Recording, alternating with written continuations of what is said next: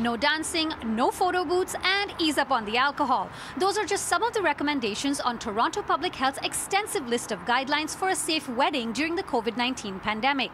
Now, a number of cases have been recently traced back to weddings, and many couples are scaling down to backyard affairs.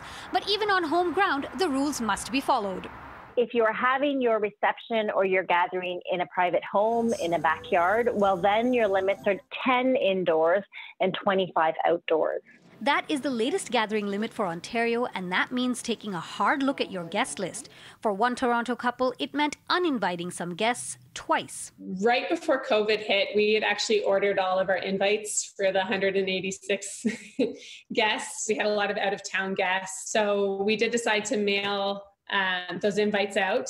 Rebecca and Chris's wedding was originally set for July and then postponed to September. In early June, they decided to scale down to a backyard reception with just 27 guests and then added back 10 more to the list when Toronto entered stage 3 a few weeks later. But then, 24 hours before the big day, Doug Ford made the announcement that they were reducing the number of people that could gather outside and indoors as well. So um, the reduction to 25 meant that we had to uninvite 12 people. I went into shock. I just went quiet.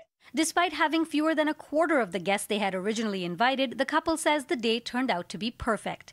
And keeping attendance low at a wedding doesn't necessarily have to mean your loved ones can't see you get married. Have a virtual component so that other people can attend, or if people are sick, they have an alternative.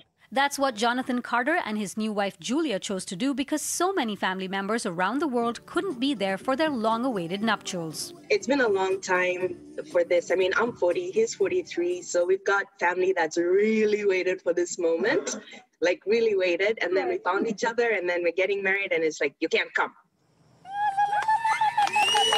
To make up for the heartbreak of their absence, the couple live streamed their ceremony on YouTube and almost 100 guests across several time zones tuned in. My sister was watching from Australia, and, and what they were saying were things like they felt like they were there. Even the ones in Kenya. Now, Kenya had to wake up at 3 in the morning because it was live, it was different in that they weren't watching a curated video. It meant that anything went. Whatever it is that we were saying or doing, that's literally what was happening at that time.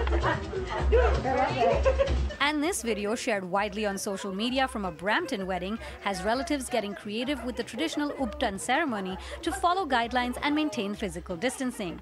It involves family members applying a paste of turmeric, sandalwood, and other ingredients to the bride to have her glowing for the big day.